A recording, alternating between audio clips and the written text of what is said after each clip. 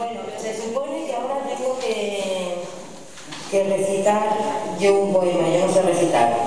Así que espero que seáis benevolentes conmigo y que os quedéis un poco con el fondo y no con la forma.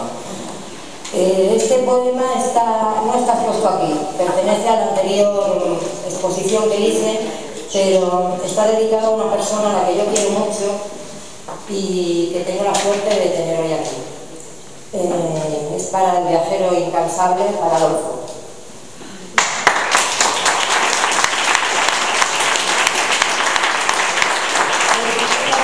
Rayo de.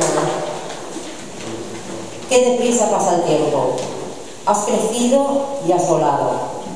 Para eso te di unas alas y un beso de libertad que guardaste en tu maleta, al lado de tres G6, seis o siete camisetas, un montón de calcetines y un mapa de otra ciudad. Volar solo no es fácil, lo sé, pero no pierdas el rumbo, sigue siempre al corazón. Habrá tormentas y calma, días grises y rosados, no puedo evitarte nada, no puedo evitarte el calma. Será tu gran aventura, la aventura de vivir.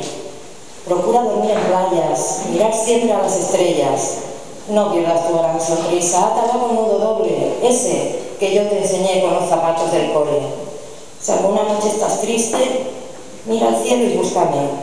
Yo te esperaré en un sueño, sentada sobre una nube, y como cuando eras niña, atravesando la bruma, dormiremos abrazados en un rayito de luz.